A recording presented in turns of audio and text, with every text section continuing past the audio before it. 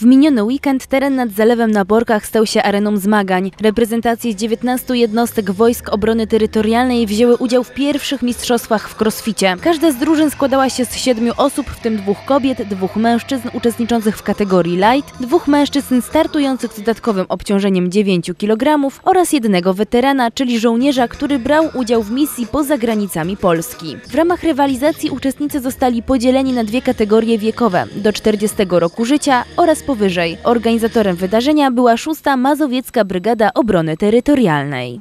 Zawodnicy muszą się z, zmierzyć z testem Marfiego, czyli e, mila biegu, 100 podciągnięć, 200 pompek i 300 przysiadów, po czym kolejna mila biegu jest do przebiegnięcia. Sędziowie dbają o to i czujnym okiem patrzą, aby ćwiczenia były wykonywane zgodnie z obowiązującym regulaminem.